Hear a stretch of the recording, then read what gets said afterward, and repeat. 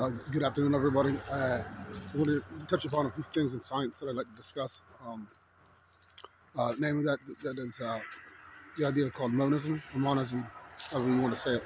Um, I um, well, I'd like to first get started by, by, by a discussion um, that's going to lead into, uh, secondly, monism, and then, of course, simulation theory, um, which I um, am part of a contributor to the to the um, ongoing research and thought about um, namely developing a lot of the source code that begins with the carbon tissue up here. Um, but getting back to the first first things first, um, a little philosophical discussion here or discourse um, begins with the idea that we all have we're little. Uh, when you look at somebody's eyes or whatever, and you see the uh, all this material apparatus moving around? How do you know that there's something inside there experiencing? You know, as you, as you do yourself. How do you know that there's not just a wind-up toy? How can the, the interaction of matter necessarily includes subjective consciousness wherever it occurs, even if it's not you doing it?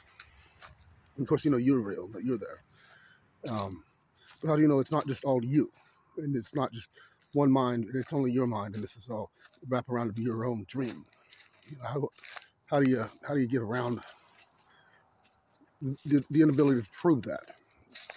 How do you prove it, so to speak? Um, well, for, well, for me, it begins with Darwinism. So we, we can not necessarily have to use that to get to that conclusion. Um, that being that uh, it is is true that there are other minds in the universe besides just your own. Um, and uh, it, it, and uh, and I guess the basic the basic thrust of the argument here is that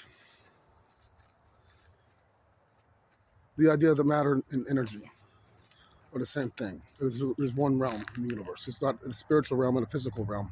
There's not a duality in nature of, of reality. It's not it's not divisible. There's one unified substance, place, state, and it's all here at one time. There's not different dimensions. They don't you don't represent another dimension by having like an invisible place. It's here, but like not where you can see it. Okay it's it's, it's a unified field that is all one. So there's no um, there's no mind matter duality. There's no spirit and physical duality. There's only one place, and that's mapped out with Einstein's equation. You know the famous one, and um, it's uh it's all energy or it's all matter, but it's not both at once or ever. Um, it's just it's more of a flux between the two places but they're not two places that just comes out. That's the second portion of the node that starts with only one. Um, is how I would like to represent it um, here now with these labels. But um, and that's, that's, that's sort of the, the dichotomy you got to get over that mind creates when you see more than oneself. Um, namely, you see yourself, and then you see others, and you wonder, are they wind up toys in a way that the physical stuff isn't necessarily represented in a way that you can prove it to yourself. There's subjectiveness going on inside that head. You just you forget about it when you're little and you, you just move on, you know, because there's no way to prove it or disprove it. But Einstein's theory uh, dissolves that boundary. It's universal acid. Um,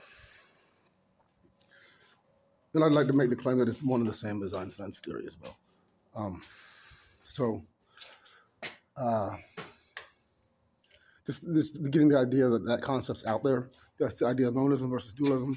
Sort of helps one overcome that from the get go, and now we can sort of march a little asses into the uh, simulation theory. And that, that gets to the idea of, well, what, what is information?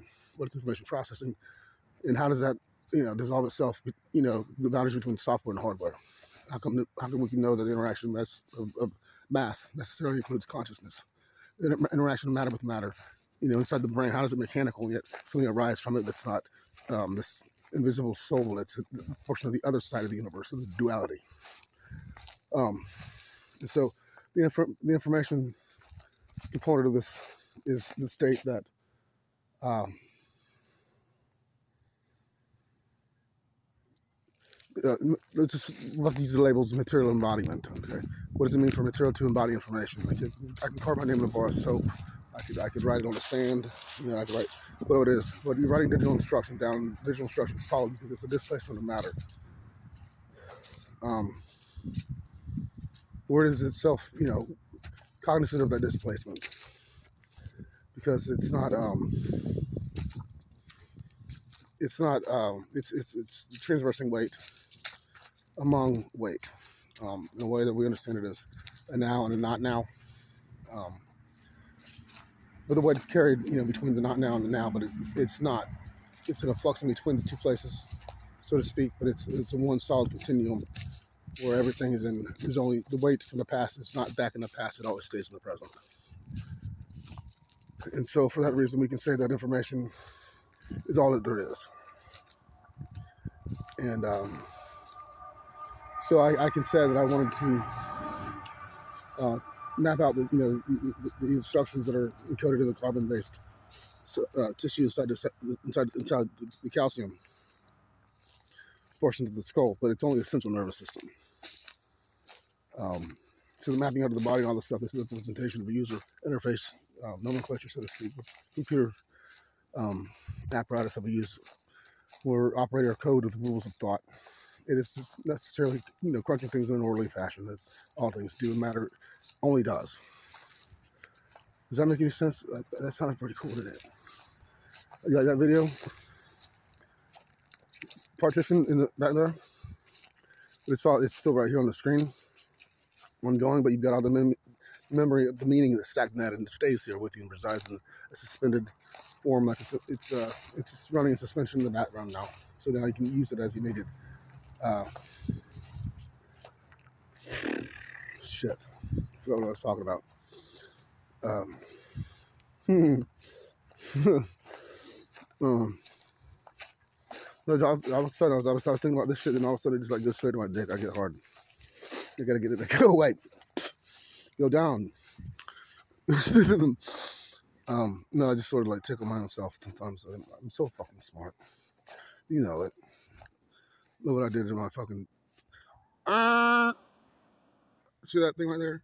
And that look fucking scary. It's my Halloween decoration. It's like scares people when they drive up. It's like, ah, uh, there's some of it. See if I can get back there. Wait a minute, wait a minute.